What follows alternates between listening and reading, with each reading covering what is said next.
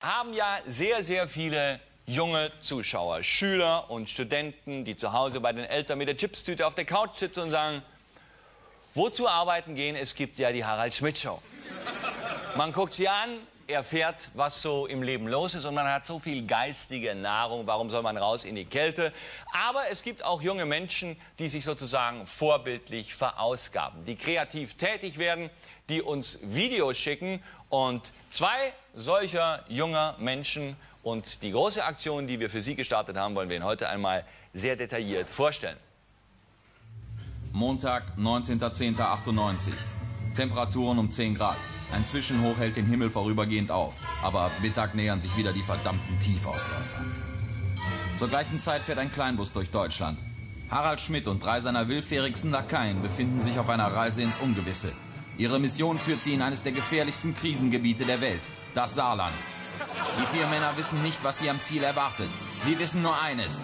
Letzte Ausfahrt Frau Lautern. Bleibt die Frage, warum? Nun, vor rund einem halben Jahr schickten Dominik Hirz und Sven Theobald, zwei blutjunge, blitzgescheite Saarländer, der Harald Schmidt Show eine Videokassette. Ja, aber es kommt noch besser. Auf der Kassette war auch noch was drauf.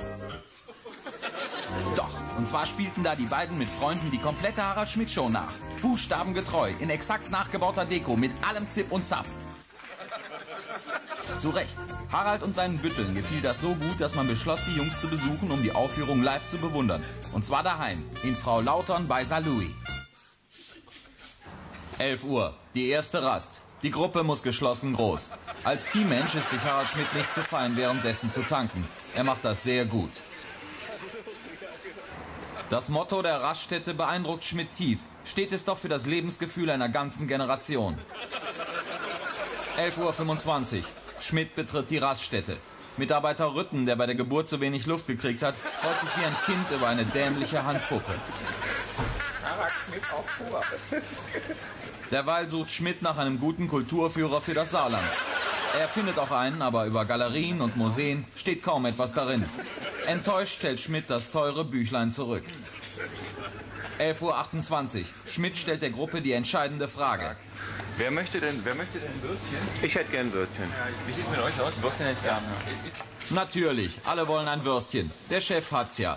Dazu lässt Schmidt noch Bohnenkaffee springen, der wohl nirgendwo appetitlicher aufgebrüht wird als hier. Über die Qualität der Seitlinge ist sich die Gruppe schnell einig. Besser kannst du sie nicht machen, eigentlich. Nee, die sind halt, das ist alles frisch, weißt du, das ist nicht abgestanden. 12.15 Uhr. Jetzt muss auch Schmidts Körper dem unmenschlichen Druck Rechnung tragen.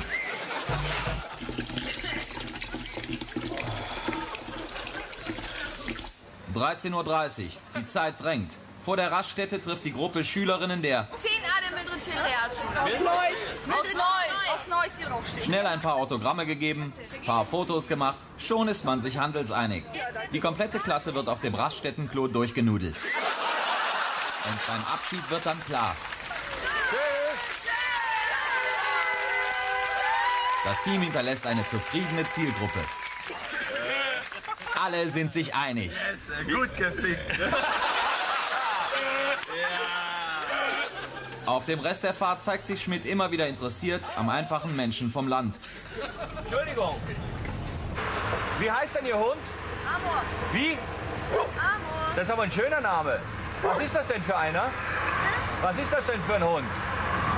Was ist das denn für ein Hund? Golden Retriever. Ah, schönen Tag noch. Wiederschauen. 14.30 Uhr. Endlich, Frau Lautern. Ankunft im Pfarrheim. Das Josef Gilles Haus ist festlich geschmückt. Und da stehen auch schon Sven und Dominik, die Macher der Frauenlauterner Supershow. Tag.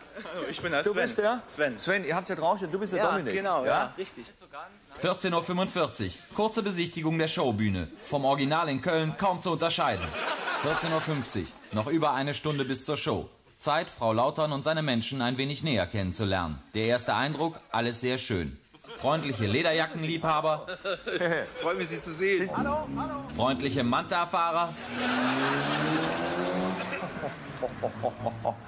Cool. freundliche junge Dinger mit Tagesfreizeit. Allein zu Hause jetzt? Was heißt das?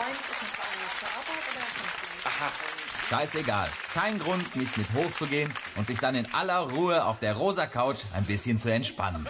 Komplimente abholen, Ihr Humor gefällt uns sehr. Wirklich? in den Ausschnitt lugen und weiter geht's. Ciao. 15.17 Uhr. Das Team macht einen grausigen Fund. Die Gedankenlosigkeit unserer Wohlstandsgesellschaft. Auch in Frau Lautern ist sie sichtbar. Schmidt ist erschüttert. Was hier rausfliegt, ist doch noch alles einwandfrei. 15.30 Uhr. Rückkehr ins Pfarrheim. Es gibt Schnittchen und Käseplatte. Mmm, lecker. Die Schmidt-Show Köln fachsimpelt mit den Frau Lauterner Kollegen. 15.45 Uhr. Ein banger Blick in die Halle. Werden hier gleich 30 Zuschauer vor Begeisterung rasen? Die Sicherheitskräfte stehen unter höchster Anspannung. Pannen können sie sich nicht erlauben. 16 Uhr. Endlich geht's los. Kurze Vorstellung der Kölner Gäste. Dann ist Showtime.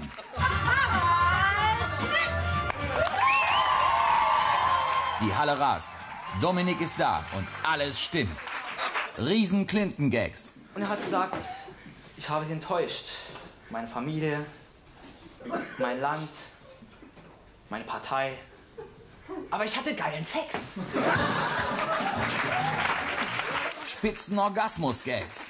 Da fällt mir dieser schöne Witz ein, mit dem ich damals beim WDR die Aufnahmeprüfung bestanden habe, meine Damen und Herren.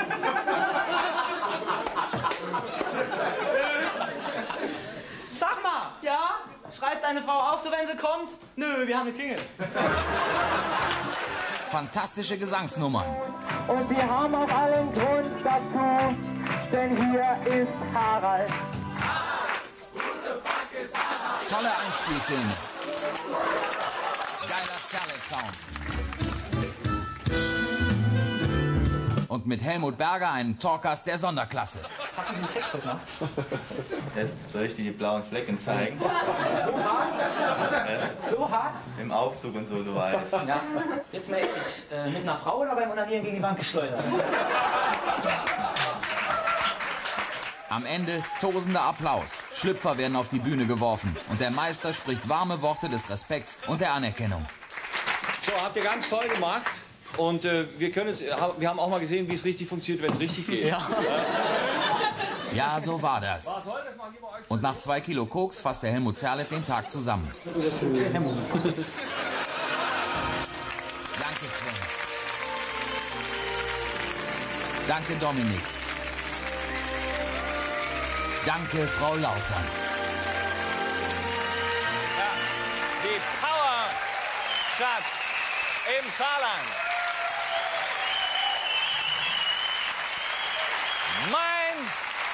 Mein erster